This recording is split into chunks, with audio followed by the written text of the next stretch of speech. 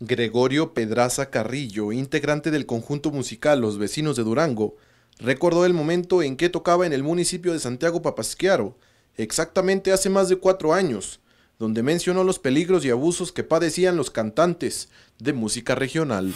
Yo vivía en Santiago Papasquiaro eh, en ese tiempo y no salíamos, eh, allí tenía yo otro compañero que salíamos por allí en veces allí en la misma ciudad a a, ofrecer, los mismos servicios, pero estaba muerto allí el negocio y yo creo que sigue igual, porque bajó mucho el volumen en, recursos en Santiago de Papasquiaro, pero ah, ya tengo yo más de años que no voy para allá, pero ya estuve y en ese tiempo no se podía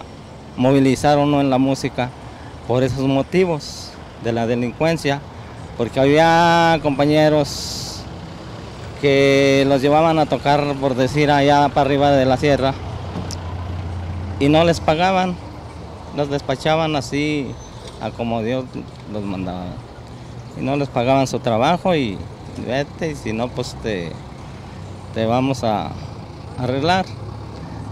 Y yo conocí allí varios compañeros que así les sucedió y y en vez me invitaban a mí y pues no, yo nunca quise ir para no exponerme a un peligro. Para análisis político, César Gaitán Gallegos.